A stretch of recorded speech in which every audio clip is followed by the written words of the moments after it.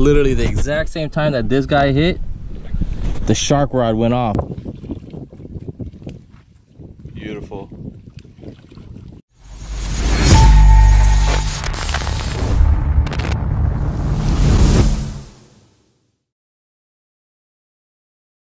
All right, so we just got back from the dentist. Lexi got herself some new braces. We got a little extra time today, so would you like to catch a shark? Yeah. Yeah? All right, we're gonna go to Bite Me Bait Shack and we're gonna catch a baby shark. Baby shark doo doo doo doo baby shark doo doo doo doo. All right, we're at Bite Me Bait Shack. I think Chris is working, so let's go say what's up. Let's go.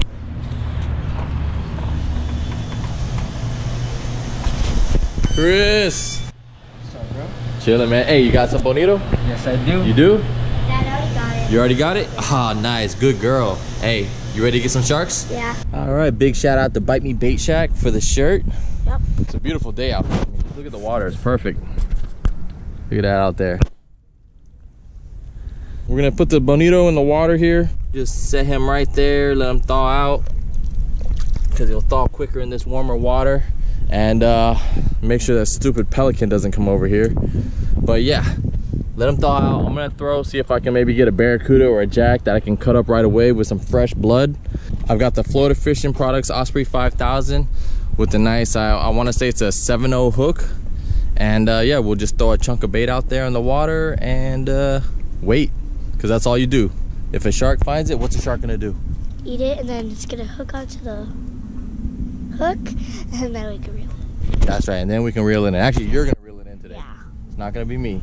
Lexi's gonna catch her first shark. Let's go. While the bonito's um thawing out, The I'm just gonna see if I can get onto a uh, pelican. Get away. See if I can get onto like a small jack or something. Something I can just chop up real fast and put on the end of a hook. Might not even need the bonito. What are you doing? So right now, I'm just slicing a little chunk of this bonito off. Right here. Still frozen inside, but once I throw it out there, it's gonna thaw out pretty quick and uh, we'll start with a small piece until this thaws out a little bit more. See if we can get a shark on. Look at that. Nice little yummy chunk. Yeah. Take my hook.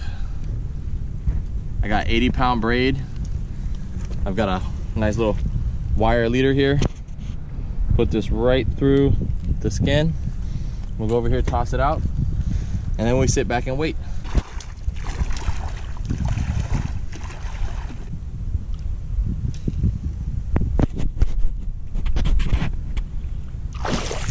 Right there. All right, so basically, I've got the rod here pinned between the rocks. So if something hits, this will come down. It should set the hook automatically. Fish will run, we grab the rod, and uh, Lexi will start fishing. Little new braces. Yee, new braces. We've got our bait out in the water right about 50 yards out over here. And uh, let's just see, see what happens. All right, so the rod just went off, but we were over there fishing. Good thing I spotted the rod. But uh, maybe something's playing with the bait. Yeah. That was really quick. Usually I have to wait like 20 minutes or so. This was really like three or four minutes and something already hit the bait. So the first chunk of meat got devoured. I'm gonna throw a bigger piece out there, see what happens. Let's do it again. Yeah. Yeah. So we were literally fishing. I just caught a jack. At the exact same time we got a jack, a shark hit the line real faster, real faster. Oh, he spit it. Ah, we're gonna have to do that again. All right, now we got fresh bait though. He was he was on there. He had it in his mouth. He jumped a few times too. We got one hit, but it was simultaneously as when I was catching a jack over here, just throwing the uh, the artificial. So we didn't actually get to get the hook set in. I had to drag loose because she's a beginner, and I just wanted, you know, I wanted to show her the ropes. But we lost one shark. We just threw in some more bait to try and get, see if we can hook up on another one. I've got some extra bait now with the uh, Jack Crevalle that I just caught. But uh, what do you think about shark fishing? Takes a while. Yeah. You need patience. Yeah, you definitely need patience. Got a small Jack Crevalle on the soft shrimp lure. Got a little weight, about an eighth ounce.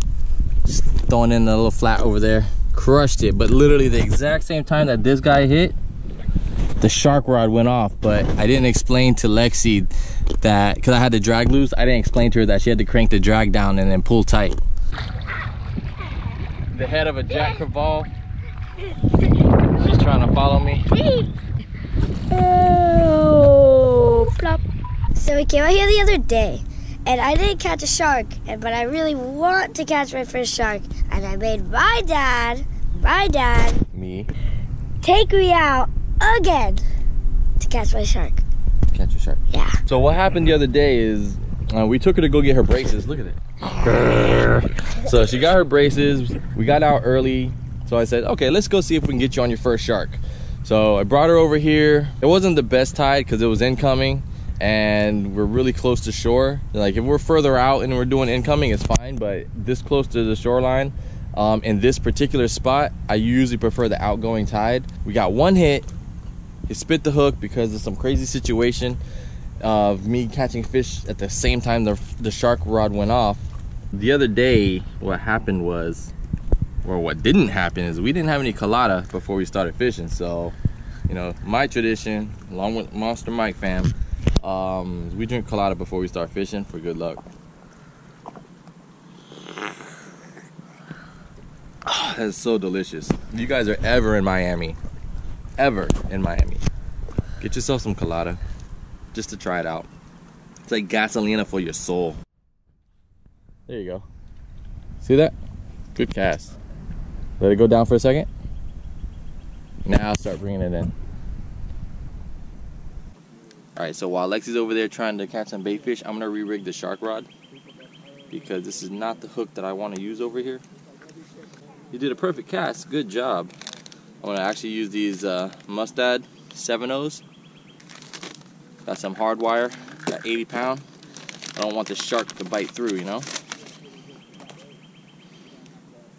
And I'm not the most beautiful at uh, rigging these up. So I'm actually gonna link up with a buddy of mine, Ed Bellado from Island Life Fishing. And we're gonna do a full tutorial on how to set up the shark rig that I'm gonna do today. But like I said, my my wire game is weak. All right, guys, nice little snook.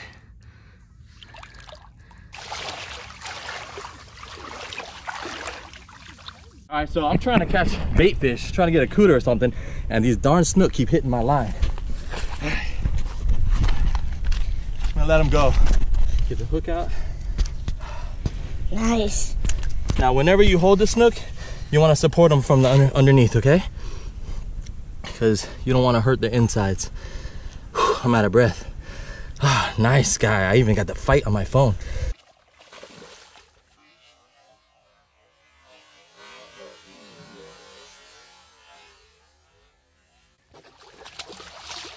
Best day ever, guys.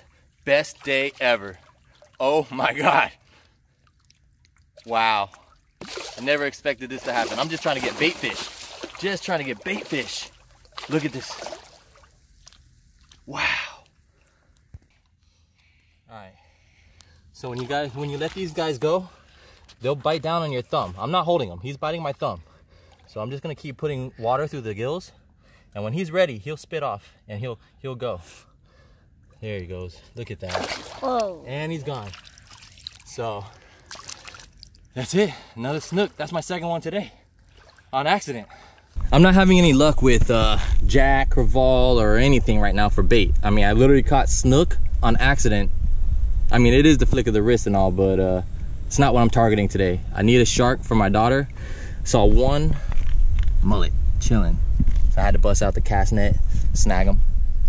Yep, thumbs up. There was a baby puffer over here somewhere. Think he's still around? There he is. Look at that, guys. Little puffer. Can't you put your phone under Baby puffer. Oh, he's so cute. He is. There he goes. Oh, he's so big and fat. Baby puffer. Do do do do, baby puffer. Do.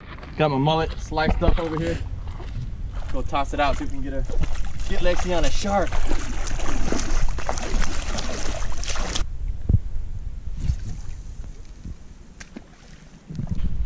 Using a little artificial shrimp here, got me a barracuda.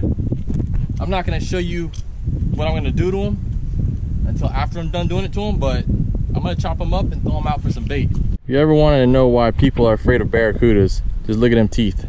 No. No? Okay. What you got on there, boy?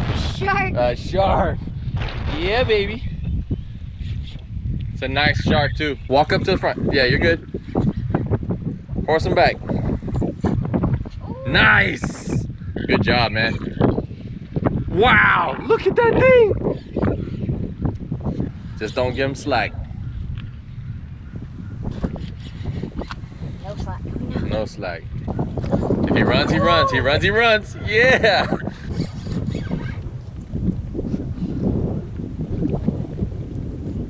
That, my friend, is a five foot shark.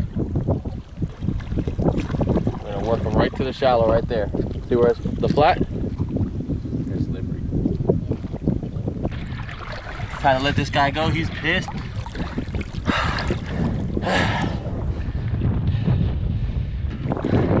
Got it. First and best. Well, guys, day two of trying to get Lexi on her first shark, but I don't think the sharks are agreeing with her right now. Uh-uh. So I really hope you guys enjoyed that snook action. Um, it literally caught me off guard because I was not trying to catch snook.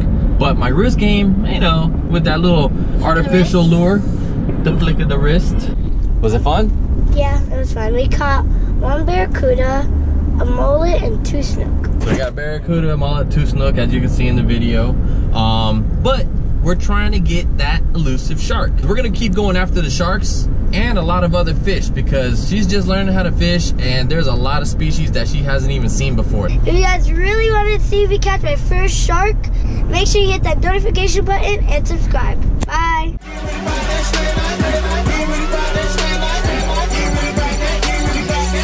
Slay with a passion, they say I be swagging, they slaying in fashion. Feel like King Arthur, I just slay the dragon. My jig on the bottom, I ain't even snagging. Slay like a savage, from slicking the best.